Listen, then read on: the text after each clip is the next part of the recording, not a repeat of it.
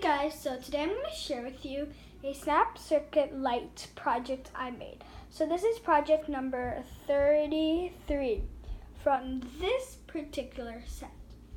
So we can go off to the project. So this is the project that I made. So this is the color organ.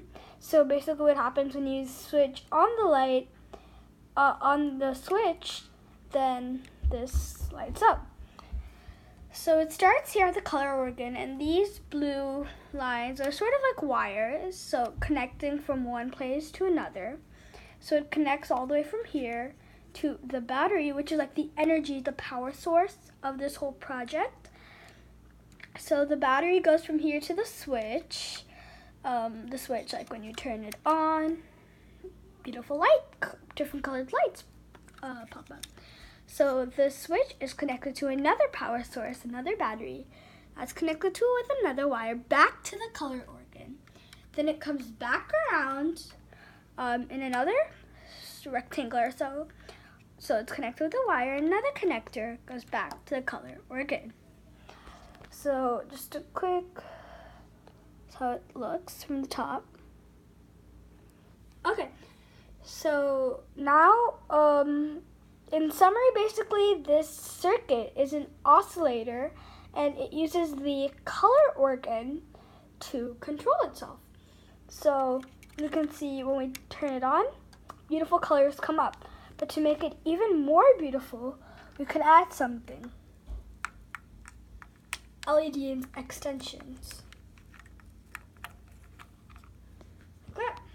So now look at it. So beautiful. And then we could um, maybe add an egg. We could try an egg.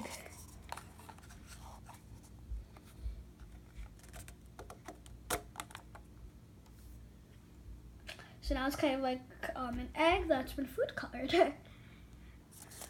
and then we can try something else. So this is kind of, I guess, like a stick or a tower, but I like to call it the Washington Monument. Because, I mean, it's white and it kind of looks like it. And when you put it like this, it becomes a colored Washington Monument. So now I can show you the instruction manual which I used to make this project.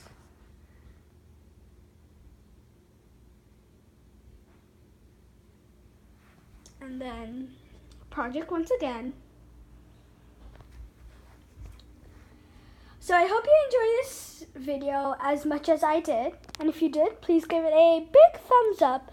Don't forget to subscribe and put in the comments down below what other projects you want to see me doing, whether it's Raspberry Pi or Juno, um, Snap Circuit, or any other projects. Put it down in the comments down below.